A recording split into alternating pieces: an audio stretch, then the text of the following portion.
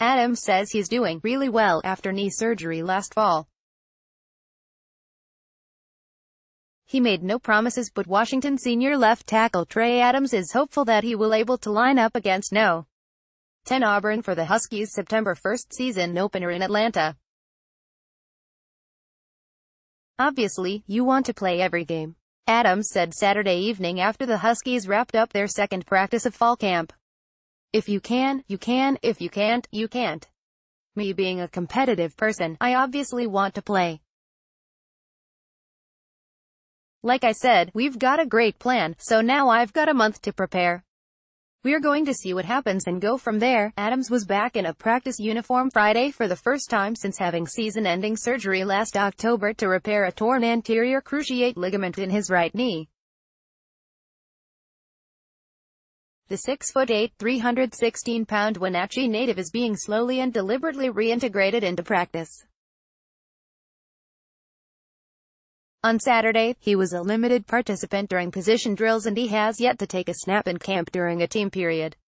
Junior Henry Roberts has been taking most of the snaps at left tackle so far with the number one offense, with junior Jared Hilbers also in the mix.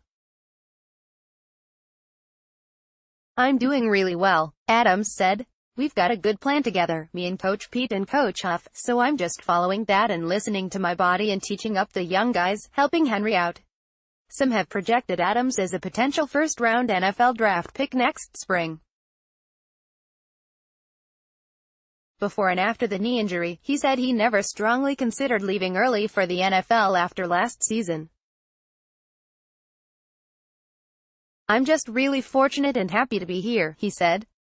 The reason I came back is to have one more year with Coach Pete, one more year with Jake Browning, and Myles Gaskin.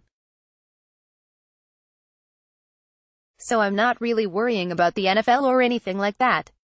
I'm really excited to practice every day in fall camp and kind of establish the O-line, because we do have a really good room this year. So that's my main focus. I'm not worried about that. I'm worried about what I'm going to go eat right now. It's been a long process, but I wouldn't have it any other way.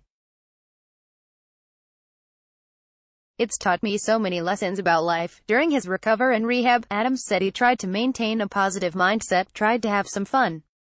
Two weeks after surgery last fall, he went duck hunting with some family in Quincy, just outside Wenatchee. His crutches came with him.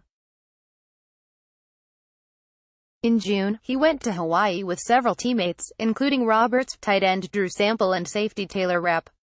I kind of kept a level head all the way through and made it the best situation possible and had a lot of fun, he said.